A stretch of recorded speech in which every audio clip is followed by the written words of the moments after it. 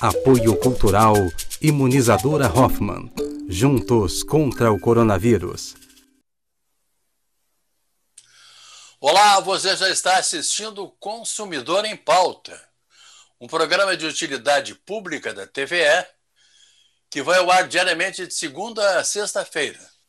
Nós sempre estamos aqui às 18 horas para tratar de um assunto que sempre é importante para algumas pessoas mas no geral é importante para todos.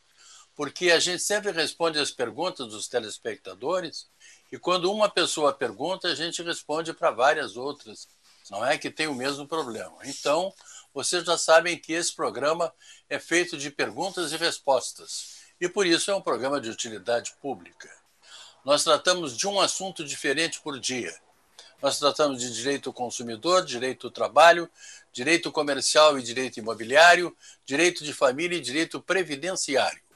Hoje nós vamos tratar de direito previdenciário. E nós vamos colocar aí no ar para vocês uh, os endereços para que vocês possam fazer as perguntas de vocês. Vocês podem perguntar pelo nosso e-mail, podem perguntar também pelo nosso WhatsApp. Se não entenderem bem a pergunta, a resposta, amanhã a gente repete o programa às 7 horas da manhã. Quem estiver no Facebook, ou quem quiser entrar no Facebook, entra e clica lá, facebook.com barra TV Pública RS, vai lá no ao vivo e assiste o programa onde estiver, através do telefone, no tablet, no notebook, em qualquer lugar. Tá bem? Então tá bom. Hoje nós vamos tratar de direito previdenciário. Eu tenho um prazer muito grande de receber aqui mais uma vez doutor Luiz Gustavo, é, que é um dos mais especializados, doutor Luiz Gustavo Ferreira Ramos, eu até nem estava dando sobre, sobre o nome dele, porque ele é uma pessoa tão importante dentro do nosso programa que a gente acaba até chamando de Luiz Gustavo. Doutor Luiz Gustavo, boa noite, tudo bem? Boa noite, Machado. Boa noite aos nossos telespectadores. É, já estamos no programa há alguns anos, né? Então, alguns anos. Uh, já temos a liberdade de nos tratarmos mais informalmente, né? E somos amigos, acima de tudo. Né? É verdade. O mais, o mais importante disso tudo, doutor Luiz Gustavo, é que nós somos amigos. Isso é uma coisa, para mim, pelo menos, extremamente importante. Saber que eu tenho no meu rol de amizades o seu nome. Muito obrigado por permitir isso. Aliás, eu vou contar um segredinho para vocês aqui. Vocês não sabem, mas eu vou contar. O doutor Luiz Gustavo é meu padrinho de casamento, tá bem? Então, para vocês verem como nós temos um grau de amizade bem elevado. Não é isso, doutor Luiz Gustavo? Seu padrinho com muito orgulho e muito feliz com o convite. Ao receber aquele convite, fiquei extremamente feliz e lisonjeado, né? O senhor e a Ana tá, também têm um lugar especial no meu coração. Tá bom. Só falta agora aquele churrasco lá em Gaurão, mas isso vai sair agora, logo depois que terminar a pandemia. Vamos Sim. lá então. Falando em pandemia, doutor Gustavo, o senhor acredita que está terminando, vai terminar, ou nós ainda vamos enfrentar esse fim de ano todo aí com essa pandemia nas nossas costas? Uh, Machado, eu, eu sou otimista por natureza, né? Mas realmente está difícil de encontrarmos uma saída, né? Disso tudo que estamos vivendo. Eu sinceramente espero que mais para o final do ano as coisas comecem a tomar o seu curso normal, né? Já temos notícia de vacina chegando por aí. Vamos torcer, vamos ficar na expectativa. Vamos nos cuidar, né? Vamos contribuir com o sistema de saúde aí, não podemos encher os nossos hospitais, temos que nos resguardar, né? Para que ao final do ano, quem sabe, possamos estar todos juntos novamente. Hoje o doutor Gustavo, um amigo meu, me telefonou perguntando o seguinte: vem cá, me diz uma coisa, as agências do INSS estão fechadas, está tudo fechado no INSS, eu não consigo falar com eles. Isso é verdade, doutor Gustavo? Sim, é, é verdade. Agora tem uma nova previsão de abertura das agências mais para o final desse mês de agosto. Uh, no entanto, uh, a abertura das agências já foi adiada algumas vezes. E eu, sinceramente, não acredito que até o final do mês as agências reabram. Agora, informe esse seu amigo que, se ele precisar de algo uh, junto ao INSS, é possível acessar aos serviços uh, através do telefone 135 da Previdência ou mesmo pelo site. Uh, e aí é possível resolver uma série de questões via online ou até mesmo, então, pelo telefone 135 da Previdência Social. Tá bem, vamos lá então para as perguntas, são muitas, doutor Gustavo, como sempre. A dona Ledia, ela mora em Sapucaia do Sul. Quer saber o seguinte: toda pessoa que estiver afastada por saúde no INSS, tiver, tiver encostada, como se diz no INSS, o tempo de afastamento não, compa, não conta para a aposentadoria e ela diz que desde já agradece e continua acompanhando esse programa que ela acha maravilhoso. Muito obrigado, Edvar. Nós ficamos extremamente felizes com isso. E daí, doutor Luiz Gustavo?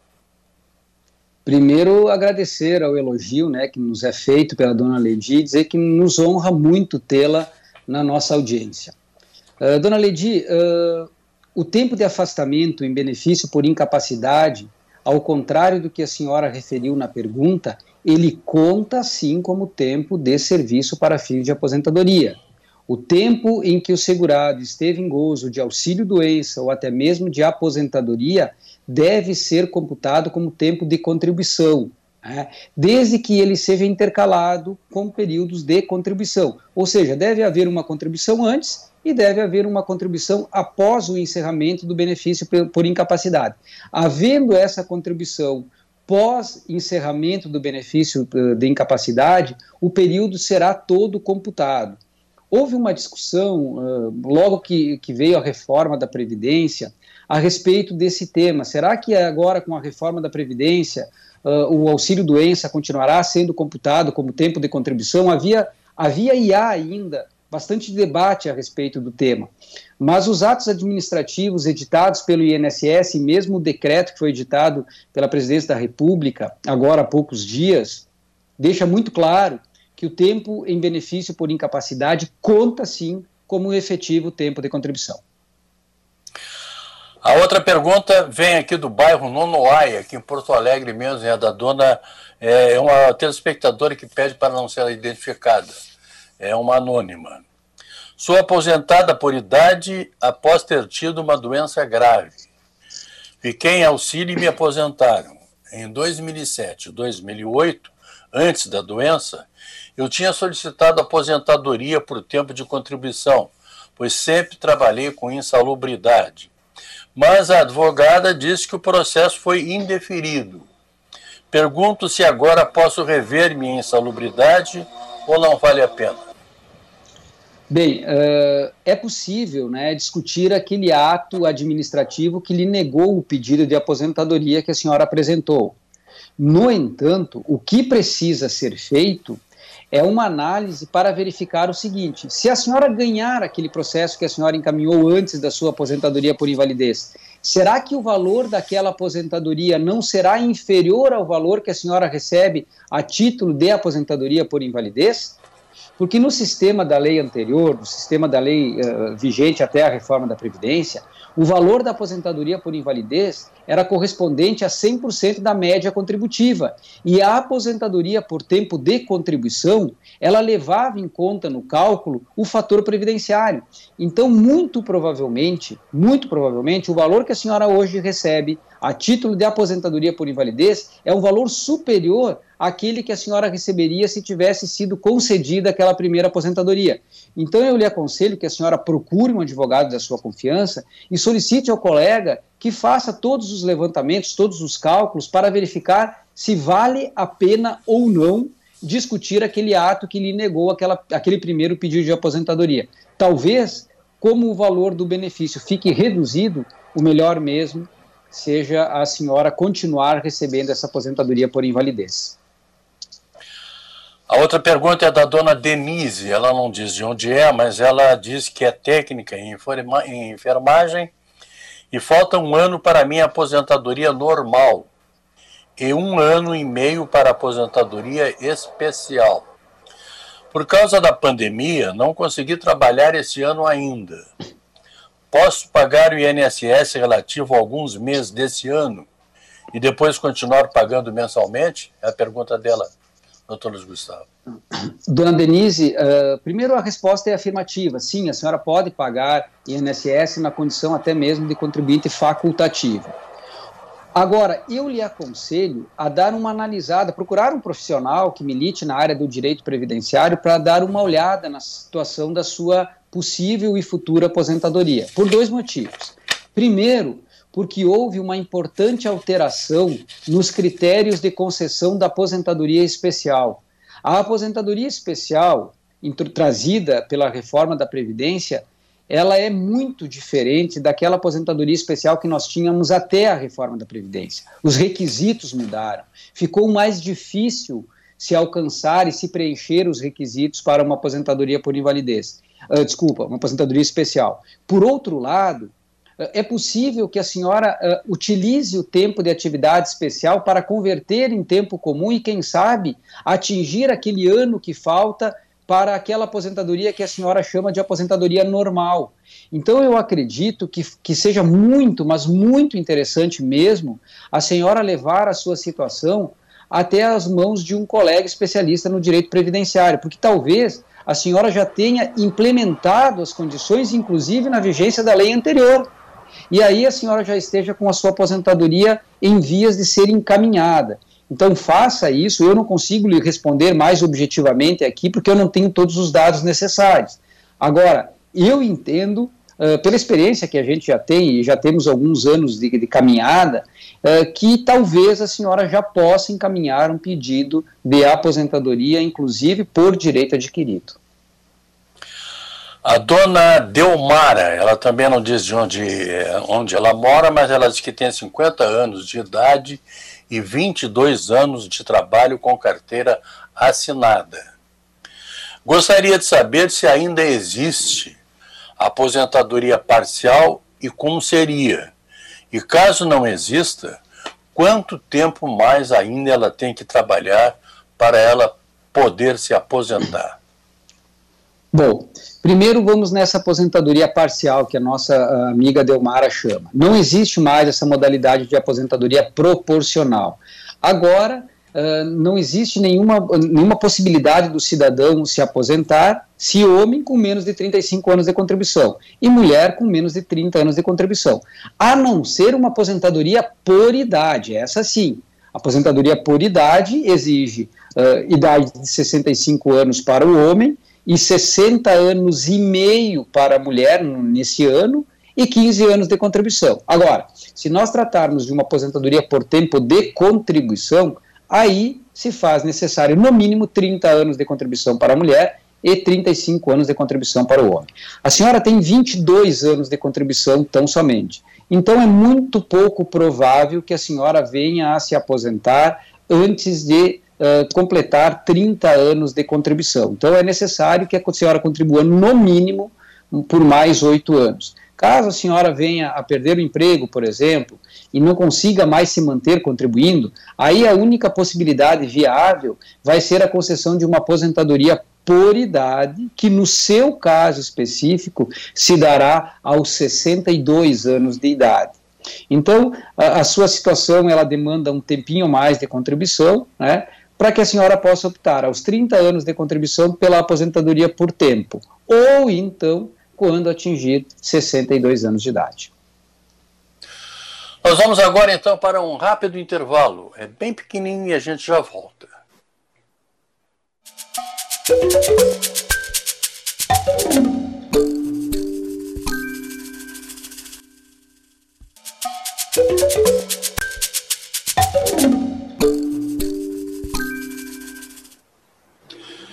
Esse é o programa Consumidor em Pauta que hoje está tratando de direito previdenciário. Nós fizemos um rápido intervalo e agora voltamos para continuar conversando com o Dr. Luiz Gustavo Ferreira Ramos, que está respondendo as perguntas que vocês nos mandam aqui eh, todos os dias.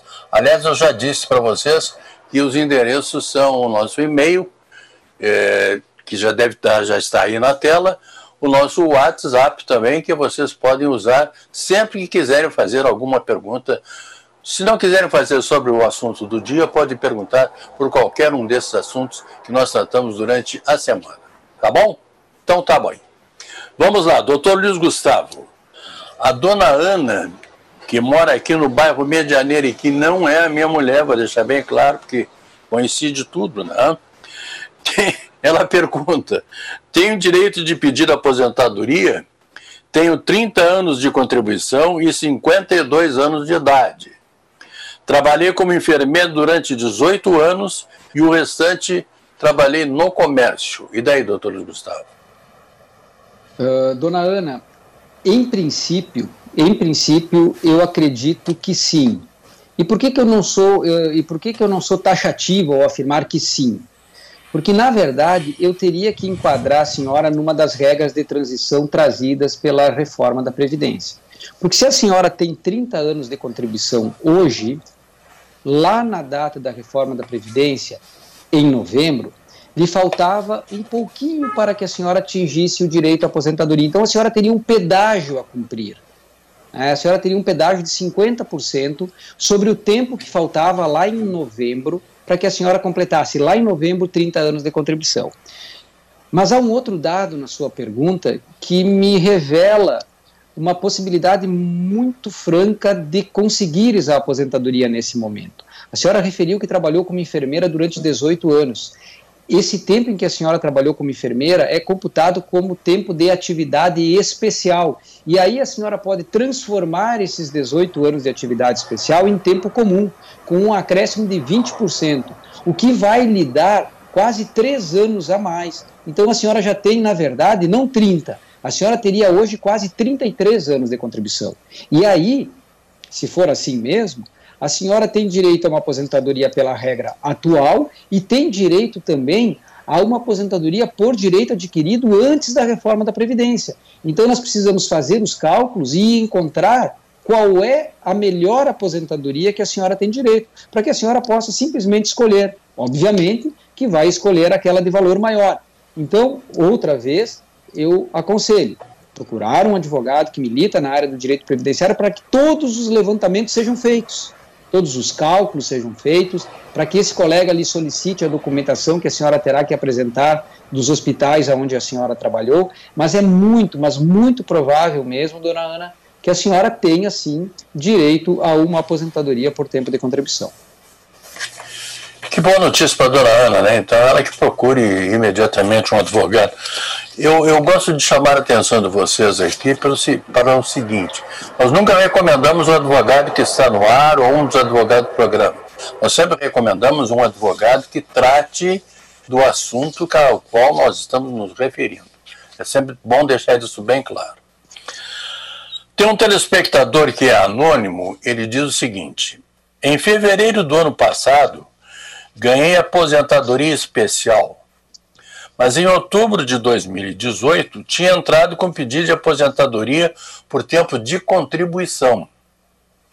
Ganhei as duas e estou esperando receber a especial, mesmo estando recebendo a comum. Pelos meus cálculos, a especial será mais vantajosa. E ele pergunta se ele precisará fazer a escolha, doutor Gustavo. Sem dúvida, sem dúvida. É impossível receber as duas, né? Então, após concluído o teu processo de aposentadoria especial, o senhor terá que fazer a escolha se opta por receber a aposentadoria especial e todos os atrasados do processo, né, descontados os valores que o senhor recebeu em função da concessão de uma outra aposentadoria, aquela de 2018. Mas o senhor vai ter que fazer a opção. Não vai poder, de forma nenhuma, receber as duas ao mesmo tempo. Então o senhor fará essa escolha, mas somente fará a escolha quando efetivamente terminar a ação judicial.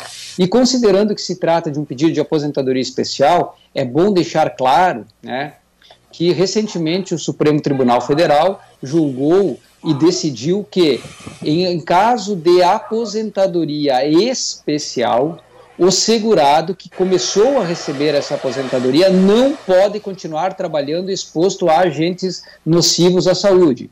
Então, há essa questão também a ser avaliada para que o senhor, então, depois decida qual é a melhor opção. A próxima pergunta é do senhor Paulo, ele mora aqui em Porto Alegre mesmo. Ele diz o seguinte: meu processo de aposentadoria já passou pela primeira instância da Justiça Federal e foi indeferido. Entrei com recurso no TRF4 e gostaria de saber se demora muito para que ele julgue. O senhor sabe isso, doutor Gustavo? Claro, não, a gente não tem condições, né, Machado, de afirmar que um processo vai demorar uh, X ou Y anos, né?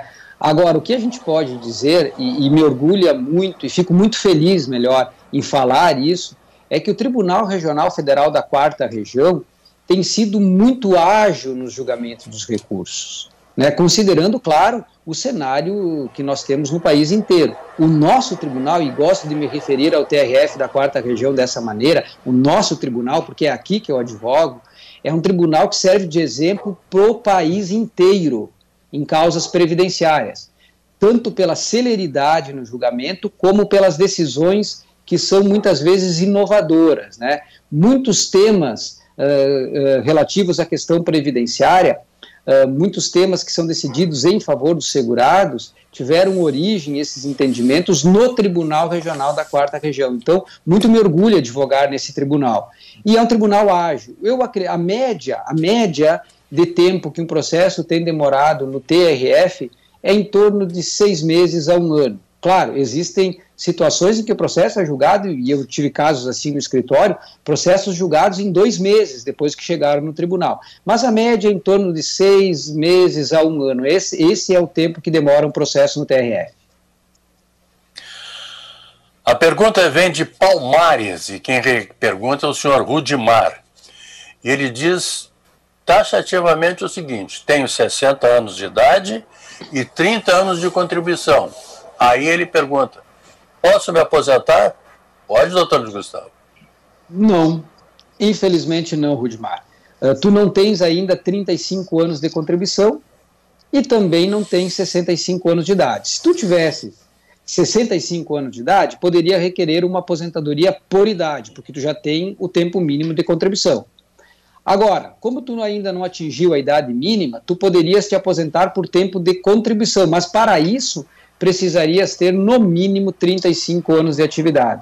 Como tu não tens nem a idade mínima e nem o tempo mínimo, ainda não é possível nem requerer aposentadoria por idade e nem requerer aposentadoria por tempo de contribuição. Como ele tem 60 anos de idade e 30 anos de contribuição, daqui a 5 anos Sim. ele vai completar tudo junto, né, doutor Gustavo? Ou não? Exata, ex exatamente, exatamente, perfeito. Aos 65 anos de idade, ele vai atingir o direito a uma aposentadoria por idade e também o direito a uma aposentadoria por tempo de contribuição. Aí ele vai fazer os cálculos e vai decidir e vai optar certamente pela aposentadoria de maior valor. Tem uma pessoa anônima aqui que diz o seguinte: estou aposentado há seis anos, mas ainda não recebi os atrasados.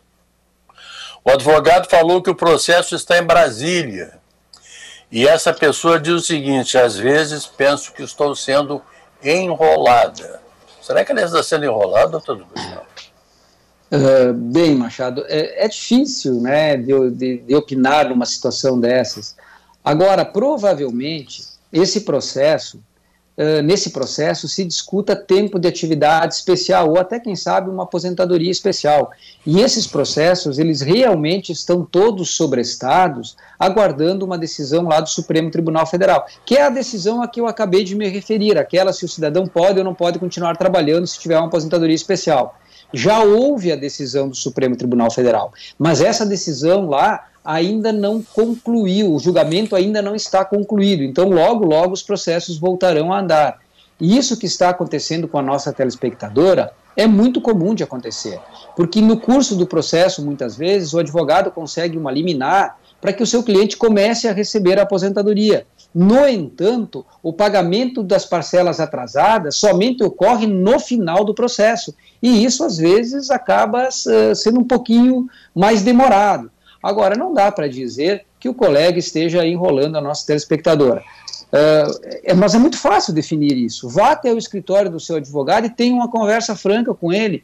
Peça para ele lhe mostrar o andamento do processo, peça para ele lhe explicar. Muitas vezes o que falta é uma boa conversa, porque conversando, sem sombra de dúvidas, a gente se entende e a gente chega a um denominador comum. Isso aí é o que a gente diz sempre lá em São Gabriel, doutor Gustavo, é conversando que a gente se entende. E a gente se dá muito bem lá. Isso é que nem quando chove. Lá em São Gabriel a gente faz o seguinte: quando começa a chover muito, a gente deixa que chova. Então, para que daí a coisa passe, né? Bom, vamos lá para a pergunta do Gelson de Montenegro. Vou lhe fazer a última pergunta do programa, doutor Gustavo. É o Gelson de Montenegro. Sou agricultor e tive um ano encostado no INSS por doença, mais quatro anos por decisão judicial. Esses cinco anos contam como contribuição para a aposentadoria? Provavelmente o seu Gelson está se referindo a um pedido de aposentadoria na condição de agricultor. E aí a minha resposta é afirmativa. Sim, esses períodos em que o senhor esteve em gozo de auxílio-doença na condição de agricultor vão ser computados para a futura aposentadoria como agricultor, sem dúvida nenhuma. Doutor Luiz Gustavo Ferreira Ramos, tive um prazer muito grande em conversar com o senhor aqui e responder, dar esses esclarecimentos tão importantes aos nossos telespectadores. O senhor, eu nem preciso lhe dizer, né? o senhor já é convidado permanente do programa. Venha sempre que o senhor quiser. Eu sou, na verdade, um servo do programa. É só me chamar tá que eu estou aqui, sem dúvida nenhuma. Tá bem, doutor Gustavo. Lembrando a vocês que na segunda-feira eu estarei de volta aqui para tratar de direito é, do consumidor. Muito obrigado, doutor Gustavo. Muito obrigado a todos vocês. Um bom final de semana e até lá.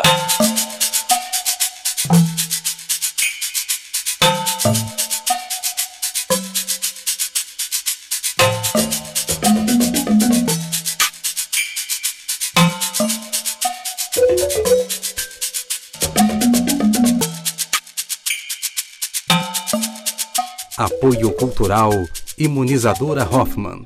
Juntos contra o coronavírus.